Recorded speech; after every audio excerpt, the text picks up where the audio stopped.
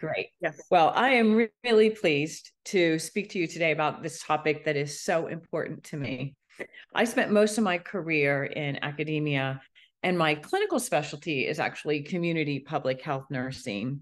As a community public health clinician, I worked in a variety of settings with disenfranchised populations.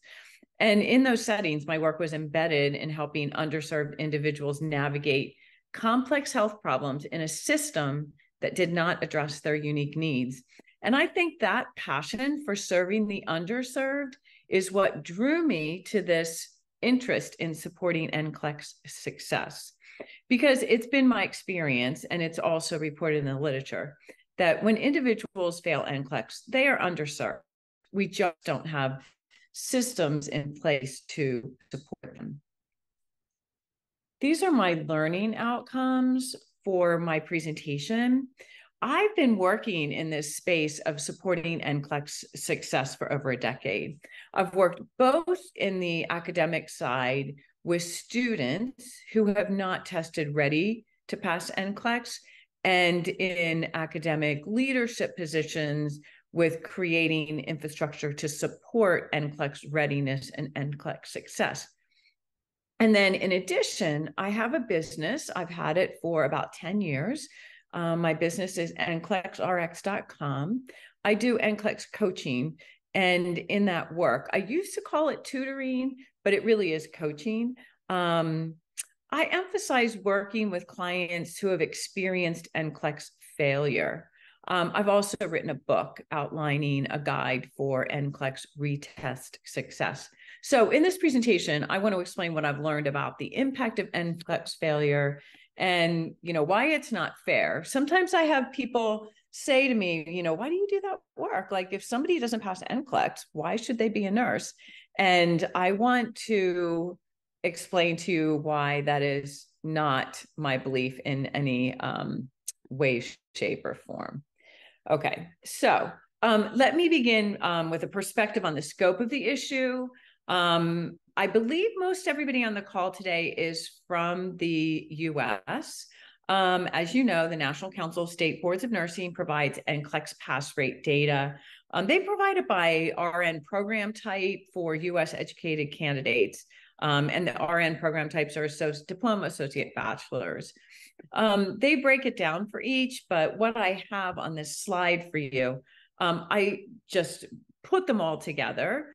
Um, and you'll see in 20, um, 21, 82% of all US educated um, graduates had first time pass, 2022, 80%. Here we see in the first half of 2023 um, a higher pass rate. As you all know, um, next generation of NCLEX um, launched April 1st, 2023. We have seen higher pass rates since that. But here you will see this is a slide actually, the National Council of State Boards of Nursing had their annual meeting uh, about three weeks ago. This is one of the slides from that presentation. I know the X and Y axis are difficult to read, but this is the percentage. Here, this is 80%, this is 90%. Um, this axis shows the time. So this begins 2011. Um, and what you see here is there have been these fluctuations. I'm not going to go into the reasons for them, but you know we have dipped down below um, the 80s, and we have actually dipped. Um, this is kind of a record high, but uh, they did indicate at the conference last week they anticipate these fluctuations will continue, um, and that there were a number of factors extraneous factors contributing to this increase that we saw in the first quarter of 2023. So, what does this mean in terms of numbers, these percentages? Um, what this means is that we had in 2021 32,204 individuals who were not successful on their first NCLEX attempt um, and then you can see 2022, even for the first half of 2023, almost 18,000. These are the people I really care about. Um, so let's look at, and mo um, also, yes, I'm sorry. Um, this shows um, practical nurse pass rates. I think most everybody in the call today is in RN programs, but you see that the um, pass rates are there's some similarities, a little bit of an increase, and still numbers, high numbers. These are the individuals who did not pass. Now, you'll know that one of the reasons that first time pass is important is because first time pass is a benchmark for approval for schools of nursing. And um, I'm also, I got started a few minutes, so I'm going to skip over this because, again, most everybody on the call is in uh, academia and would know this information. There are psychological consequences to not being successful on NCLEX. And I'm going to talk a little bit more about that in a later slide, but anecdotally, my experience working with individuals who experienced failure confirms what's reported in the literature. And that is candidates who experience NCLEX failure suffer from isolation, depression, anxiety, hopelessness, powerlessness. These psychological effects do impact retest success. There are also significant financial consequences if individuals have been hired as a graduate nurse with a temporary practice permit, their NCLEX failure results in loss of their position, a demotion to a lower position, and a pay cut. If you're in nursing education, you also know that graduates who struggle through nursing school are less likely to pursue employment before they've passed NCLEX so their failure is going to mean that they remain unemployed or in a lower paying job while they prepare for NCLEX. They have to wait to retest after a failure. And it kind of coincides with the time that their student loans kick in. So now they have their loan payments at the same time. Um, they're not having any increase in income. So it's really financially devastating. There are also workforce issues. And you'll see in the literature, there's some discussion now, and I have these on the reference on the reference list. I'm not going to go into the weeds of them, but there's some literature describing the impact of NCLEX first time pass rate benchmark on diversity in the nursing workforce. Um, it's a complex discussion outside of the scope of my presentation. But another obvious consequence is the number of nurses lost to the workforce as a result of failure. For example, the first half of 2023, 17,700 RNs lost to the RN workforce at a time when we have dire workforce um, shortfalls. So, what happens to those thousands of candidates who don't pass on their first test? They become um, an NCLEX repeat test taker.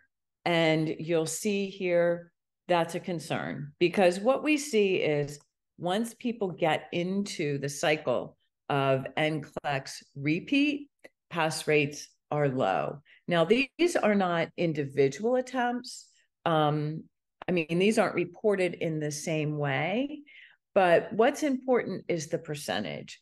And you see that less than half of individuals who repeat the RN um, less than 40%, the practical nurse, are not successful in the repeat. So that's why we really need to pay attention to what we can do to improve NCLEX success.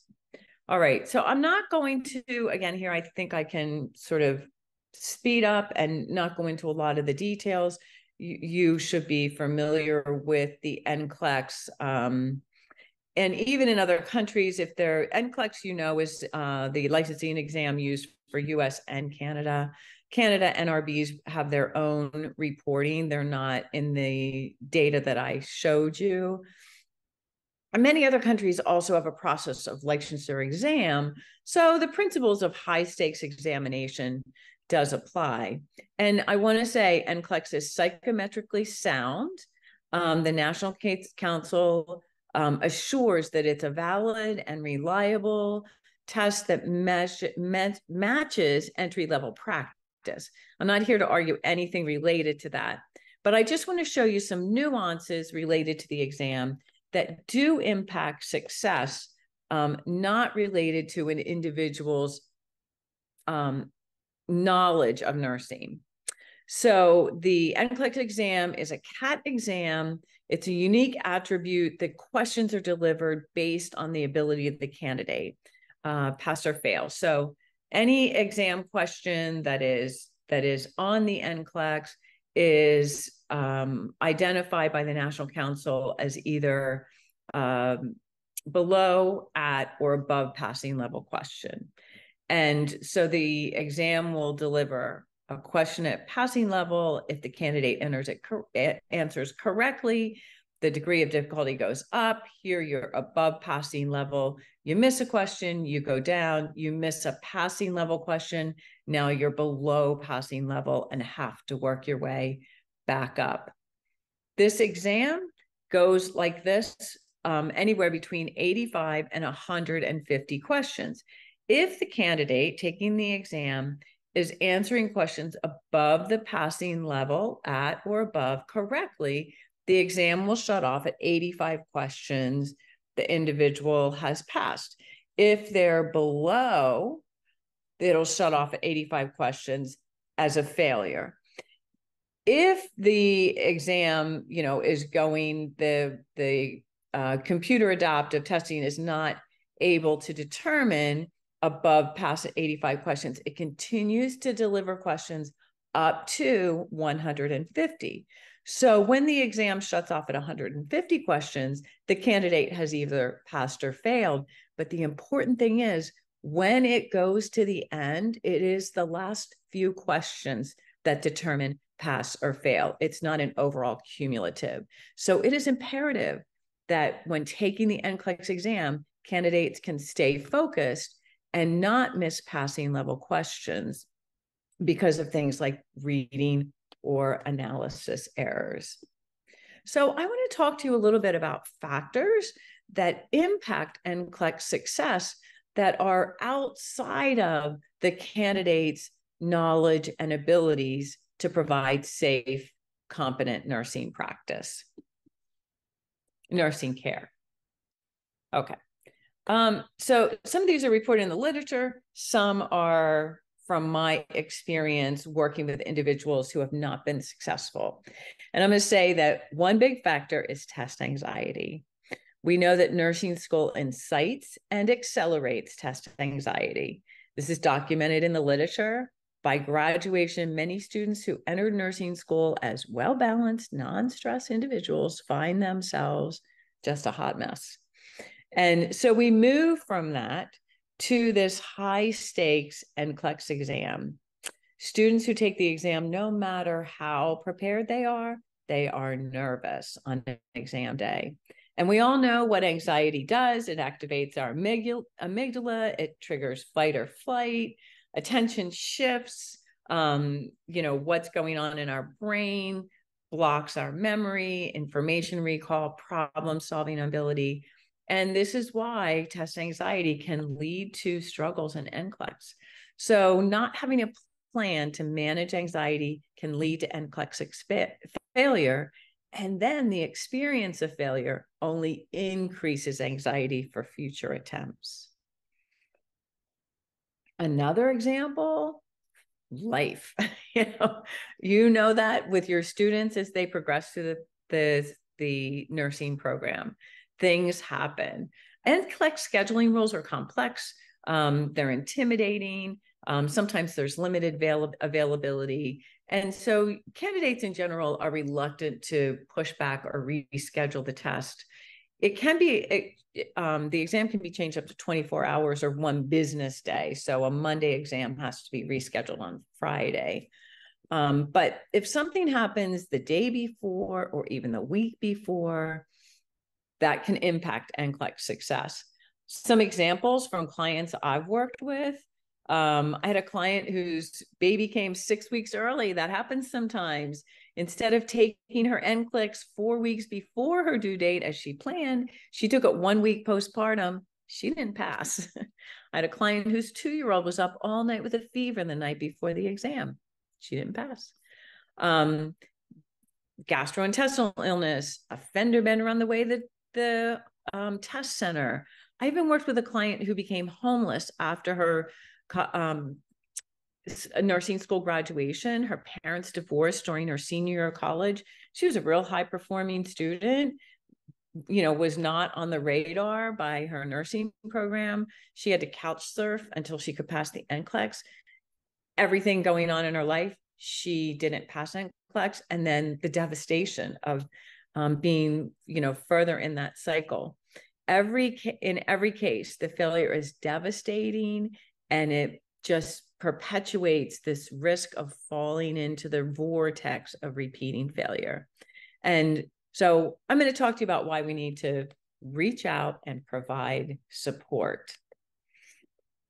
Um, and another factor that is a significant factor that um, this relates to the CAT test um, is being able to be focused for the duration of the test. Nothing in our lifestyle supports focus. In general, our students have about a 20 second attention span. That's literature from Gen Zs.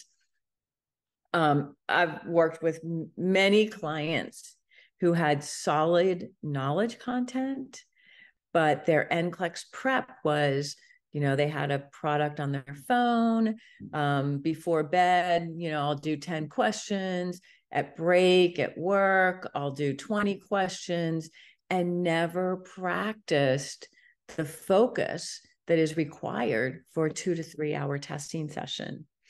I tell my clients you cannot train for a marathon by running sprints, and the same applies to NCLEX preparation.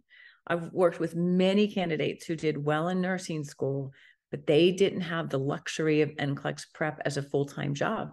So they were, you know, juggling it around night shift work or childcare responsibilities and then we're not able to sustain the focus required.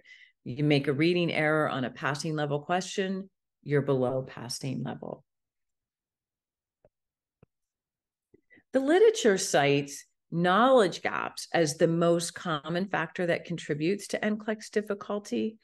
In my experience, this is true. I've had many clients who have test taking um, not or their major knowledge gaps but um, even if there's minor knowledge gaps those have to be addressed the cat test will find them i've had clients who you know like had maybe a life event in the semester they took peds and so you know they were just weak on peds um, and the cat test will find your weaknesses so I do work with clients in addressing their knowledge gaps. That's really important. But um, I put it here at the end to note that it's not the only reason that people aren't successful. What happens when you don't pass NCLEX? It's devastating. And the other problem is our candidates who don't pass NCLEX, they have nowhere to turn. They've graduated from their school of nursing. There's no support for ongoing um, assistance after their failure. They're graduated, they're on their own, we're done with them. Um, they may be embarrassed to even tell anybody about their failure. They're reluctant to reach out to a faculty in their school of nursing, even though it will get reported to the school. I find many candidates don't know that, but we don't have anything in place for them. If they've been hired by a healthcare organization, in my experience working with clients, the healthcare organization doesn't offer any support. They just like, let us know when you pass and we'll get you rehired as an RN. So maybe people have some idea of what went wrong, but most clients who find their way to me don't know what went wrong or how to even decipher what went wrong. So they just prepare the same way and do the same thing, hoping for a different outcome. So, adding to the emotional toll of embarrassment and isolation, you can see why people feel alone and um, with nowhere to turn. So, this is where we need to step in and provide support. You know, we're not addressing the masses. These are the underserved population of our nursing school students and nursing school graduates. We're super happy for the 80 to 90% of candidates who pass on their first attempt.